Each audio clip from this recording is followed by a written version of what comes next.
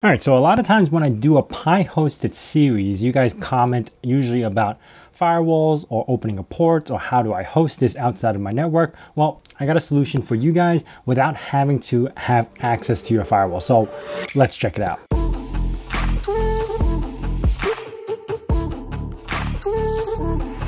So I've been down the rabbit hole of trying to figure out some webhooks or hosting stuff without having to use your firewall, basically bypassing it, as well as not having a permanent URL versus something dynamic like your IP address. Now, if you're a home network user, uh, chances are the IP address that you're using is dynamic and it will change over time, which is something you do not want when you're hosting a service.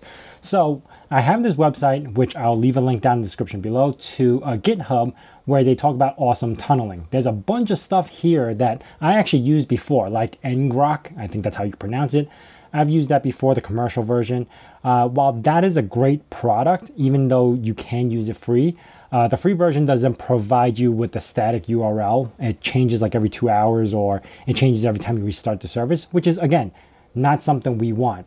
Um, there are a lot of open source alternatives and you don't have to pay for any of those. So you could go down this list and see what you would like to use. If you're gonna use this on a production environment, I would recommend using, you know, closed source or commercial versions. This way you could get more out of the service. But what we're gonna be using basically is something called Telebit. Now I tried out these two, Telebit, um, Tunnel P, Python Jam or PyJam. Uh, I think I tested the ngrok number uh, version number one, and there was this pgrok, which is the same version of ngrok, but it's updated code.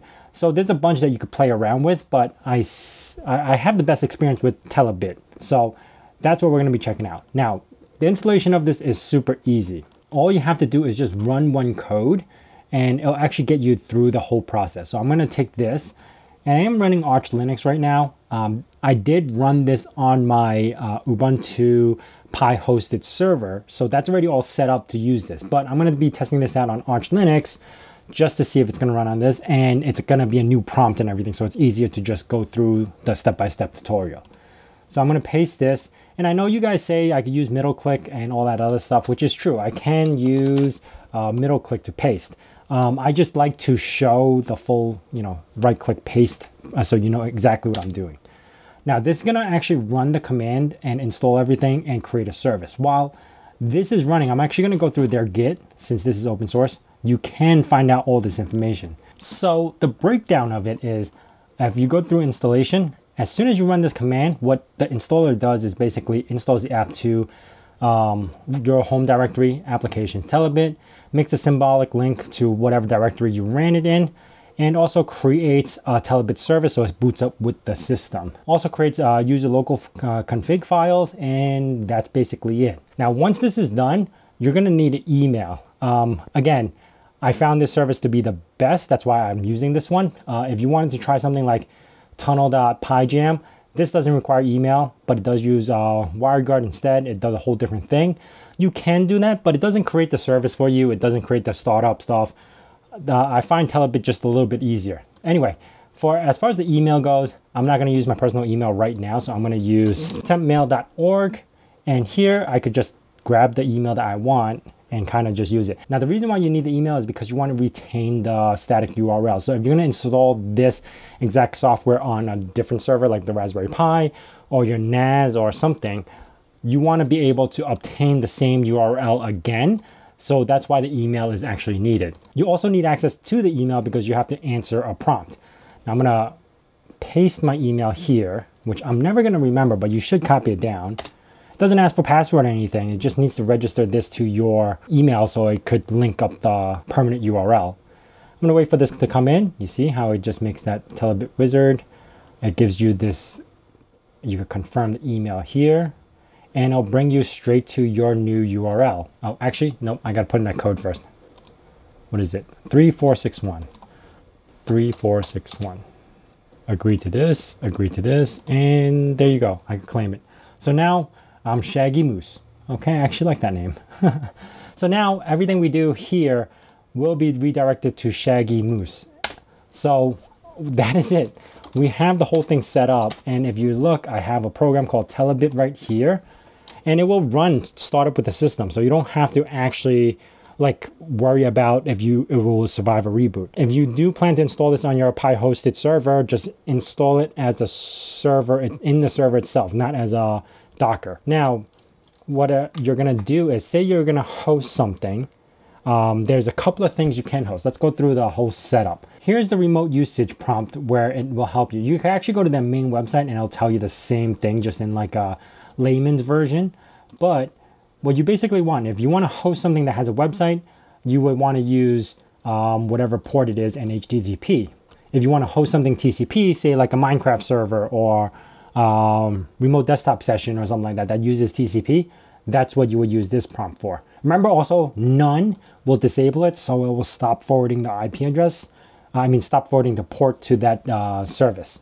Now I plan to use this on a Nextcloud server and also uh, some other stuff, but if you want to be able to bypass all your firewalls because you don't have access to it, or if you're in a dorm, or if you just don't want to play around with your firewall or a permanent URL, this is the best way to do it.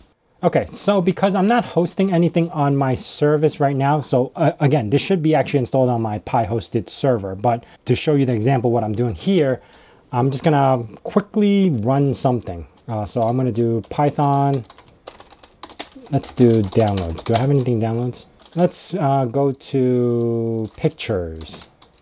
No, documents. And do I have anything hosted here? Only my Blackmagic. Uh, let's do touch test file. Okay. And what I'm going to do here is Python. There you go. Dash M server. And this will be port 8080.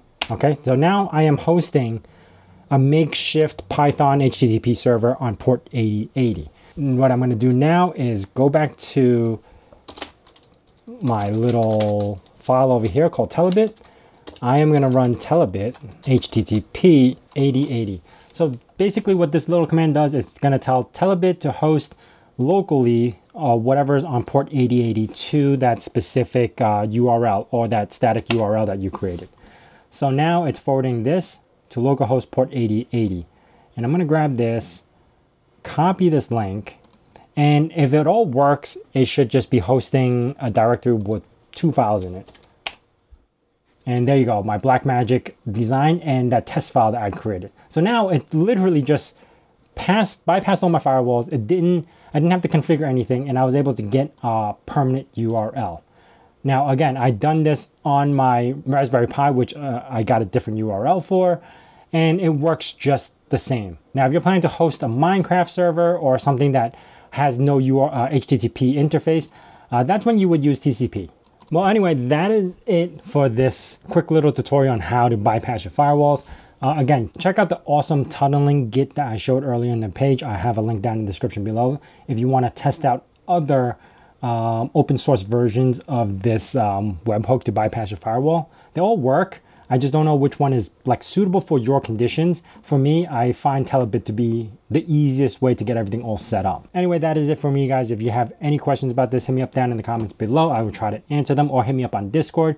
And if you guys are new to the channel, consider subscribing and also hit that bell notification icon so you know when the next video is going to be out. And as say my nerd cave, hack till it hurts.